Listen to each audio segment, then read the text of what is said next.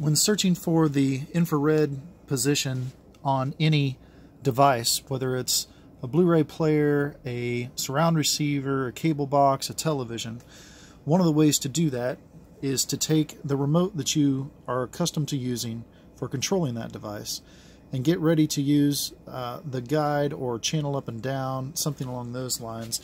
Even the power command might be useful in identifying the sweet spot.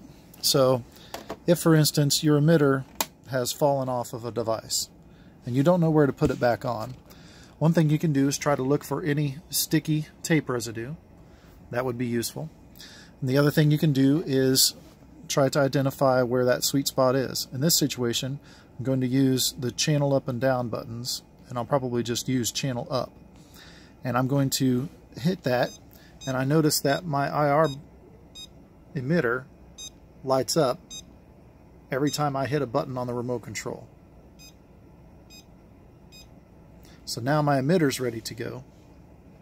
I've already put my remote control in the cable watching mode. This works for any of the universal remotes or app you may use to control your system.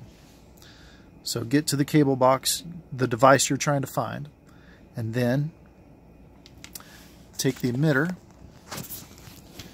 and as you press a channel number, which I'm going to do off the screen because I can't hold the phone and hit the button at the same time, um, you can begin to run it across the face of the unit, pressing the channel up or down button at any moment. Once it starts to respond, which it does there, then you can fasten it in place. Now that's been fastened in place. I happen to know exactly where the sensor position is on this one, so I'm going to move it back over top of where it actually is.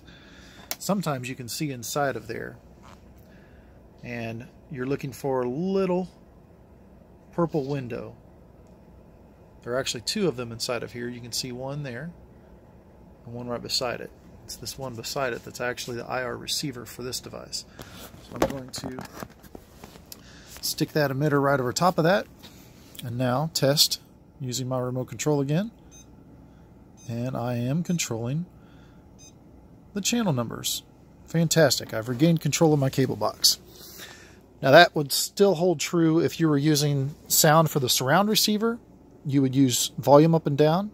If you happen to have um, an emitter fall off of a television, you may want to go to one of the internal features of the TV, such as turning your system on and off, or if your television is actually controlling the volume, you can use volume up and down for that.